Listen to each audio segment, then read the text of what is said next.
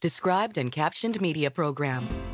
In the classroom and on the go. DCMP.org. Learn 360 presents I Can Show I Care. Unfortunately, not every day is a great day. Things go wrong and people get upset. Whenever a friend is sad or upset, you can try to be a good friend and make them feel better. This is Miss Riley's classroom. She's about to announce that it is time for reading. Let's watch how Holly tries to make Stephen feel better when he can't read the book that he wants. All right, class, it's reading time. Please go pick out a book and find a quiet place to read. The kids get up from their desks and go to some bookshelves.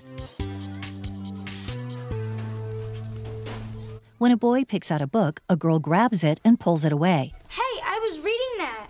The Described and Captioned Media program provides services designed to benefit students who are blind, visually impaired, deaf, hard of hearing, and deafblind. These services include a library of free loan described and captioned educational media, a clearinghouse of information related to educational media access, a gateway to internet resources related to accessibility, and a set of guidelines for adding descriptions and captions to media. There are no user registration or service fees. Visit the DCMP at dcmp.org.